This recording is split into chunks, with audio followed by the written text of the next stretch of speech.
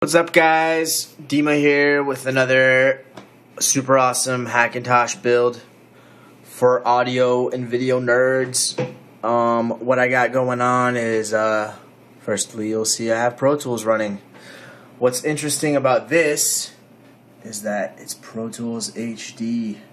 And what we're using are the old HD PCI X cards, super old school Ironically, they are only 5% slower in an HD3 configuration than the PCIe versions. And they're a whole lot cheaper. So if you have them, or if you're building an HD system, this might be a sweet option for you. Um, what I have here is the demo session. Um, we're using 192 voices. Obviously, total overkill for this. Also, I am running with the lowest. Uh, hard, yeah, the lowest possible hardware buffer size. Um, I'm using half of the available processors, but 100% of them. Um, I find that that's the best setting for that. Um, we got delay compensation going. Let's turn disk caching on and allocate 8 gigs.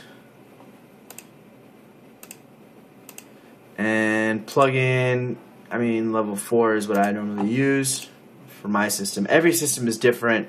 Don't use these settings just because I did. You know, it's it's very different uh, for everything you do. So now you'll see that I don't know if you guys noticed that, but the timeline is cached. That means that everything is running off of the uh, the RAM, and RAM, as we know, is way faster than the hard drive. When we press play, this bad boy plays immediately. There's no lag, there's no delay. If we skip through the session to over here and press play, it plays. RAM is fast, we don't have to worry about our disk is not even moving. Um, we have 32 gigs of RAM in this bad boy, and let me show you the inside. You may be impressed. The uh, the case I use, um, I showed it off before.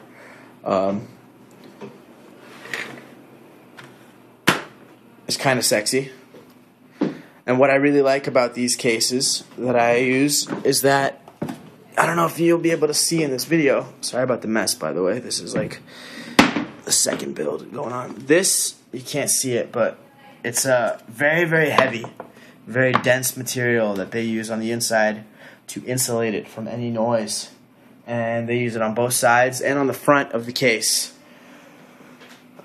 so, here we have it HD3 on PCI X cards. Um, and we're using a 96 IO temporarily. Um, you can hook up whatever you want. Obviously, you can hook up six 192s if you wanted to. So lots of options there. Um, if you own the systems, you guys obviously know what, what's going on. But this can be had. These three cards can be had for about a thousand bucks. Um, if you can find them, you can grab these for about a thousand dollars and have an HD3 system. Um, the processor is an i7 Sandy Bridge processor. The RAM, 32 gigs of 1600 megahertz RAM. Unfortunately, this motherboard is limited to 1333. This is the only motherboard that has four PCI slots. So we're actually going to add another PCI uh, X HD card to this, we're going to have HD4 in here. That's the max that you can load into this guy. This is the only motherboard that has four PCI slots without a bunch of junk. Well, it's the only one that has four. Some have three, but they don't use, they use a PCI to PCIe bridge, which does not work. And also, they usually have a bunch of heat sinks and crap on the motherboard that prevents you from installing the cards without removing heat sinks or doing other stuff that sucks. Um, so this board, you know, just works really well for this.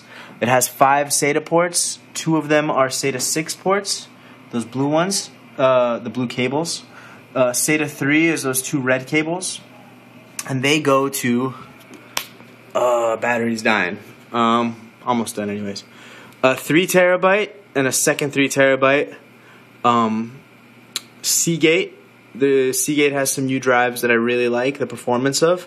Um, better than Western Digital Caviar Blacks in benchmark tests that I've run. Um, and I am a huge fan of Western Digital Black Caviars, so that says a lot. And uh, they're not that expensive. We have a 240 gig uh, Mushkin Chronos, very, very fast solid state drive connected to the SATA 6 port, and a 320 gig Western Digital Caviar Blue as a backup and storage drive. Um, we have these Cougar fans all over the place, um, and they are extremely quiet, extremely efficient fans. This case, you will not even know that it's on once I put the side covers on. Um, so that's that for the insides. Let's hit play. Um, I have nothing hooked up to the one to the 96, so we're not going to hear anything. But our faders are moving. Um, you know, it works. Actually, let's see if we can get this thing. IO output A1 and 2 master fader.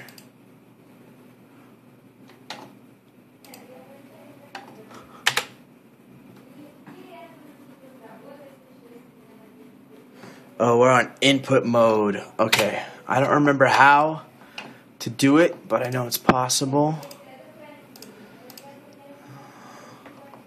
One second. No, it's not in there. Oh, where do you change on the 96 IO? Where you, you switch between input and output monitors. God damn it. Uh, utilities. No, no, no. Whatever. You get the idea, I'm hoping. um, it's not the fastest system because you can't overclock this motherboard, unfortunately. But like I said, this is as fast as you're going to get a system with um, old HD PCI or PCIX cards. It really does not get better than this. Geekbench is at about 13,000. Um, it has 32 gigs of RAM. We can load up five or five hard drives and a DVD-ROM if we wanted to. There's also an mSATA um, port on there. Um, we are using a silent video card, the Asus EN210, one gigabyte DDR3. This guy right here. Um, sorry about the dark video, guys. I, my flashlight or my battery's going low, so that's that. But um, yeah, it it works. Um, it works really well. It boots really fast. In fact, let's show that before I end this video. Whatever. Save, close, close. Free up the DSP.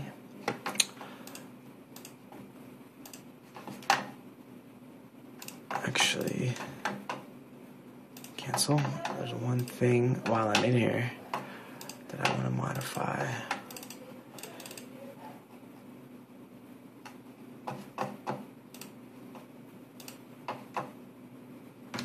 Select all. Copy 32 items. Sorry, this is boring, but I'll explain what I'm doing in a second. Replace all.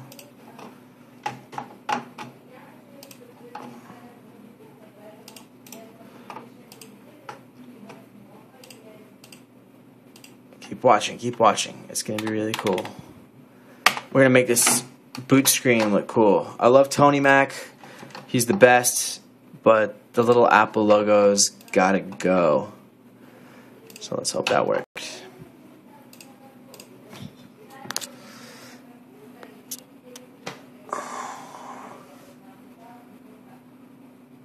Um, so we are running Lion. Uh, this is something that a lot of people have had issues with running Lion with Pro Tools 10 HD on a hack. And here's our new boot screen. We still got the Tony Mac logo, but this one looks way cooler, way more vanilla. Um, let's load Lion.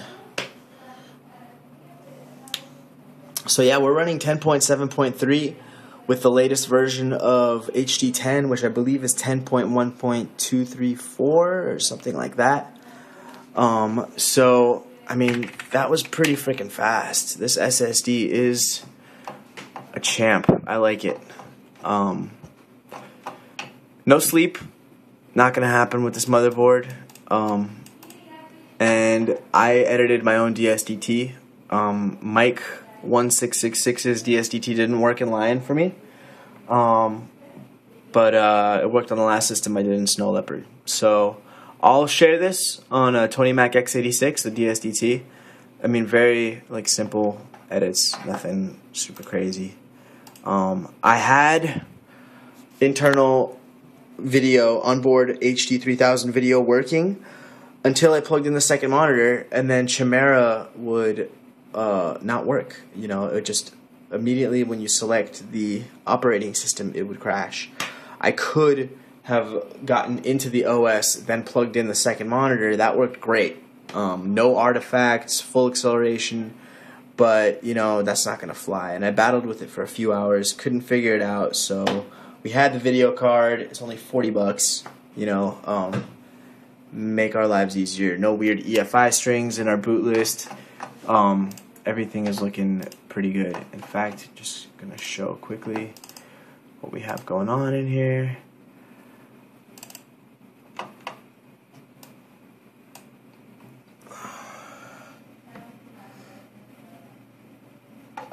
If you're building one of these,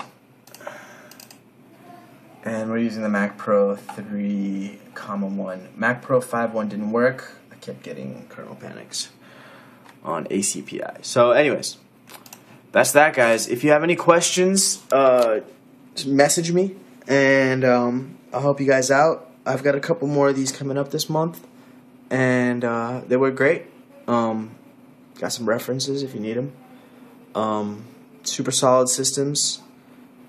Uh, pretty much the only you know cost-effective option for guys with old cards that aren't ready to go to HDX or you know don't want to spend a buttload of money for PCIe versions of the same card, which is almost the same in performance. Very, very marginal difference. Um, so, yeah, message me with any questions. Thanks, guys. Bye.